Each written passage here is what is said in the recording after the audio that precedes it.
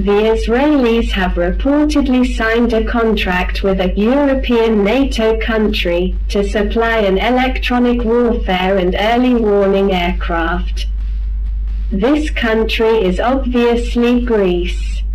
The Israelis are currently maintaining Greek C-130s and probably one of them will be converted into an electronic warfare aircraft. At the same time, Five Israeli radars and an anti-drone system are being installed on islands in Crete. The new Israeli radars are of a different technology than the existing Greek ones since they show the exact location of the target in real time. These are 4D and AESA radars and will be able to focus on targets with target analysis as well as target prioritization while also being able to transfer data to other platforms such as Belharra.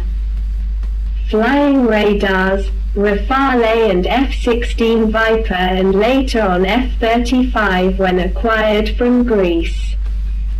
The Israeli Navy is also conducting exercises in the maritime area south of Crete and has requested permission from Athens. The same area has been demarcated by Turks and Libyans with an illegal agreement.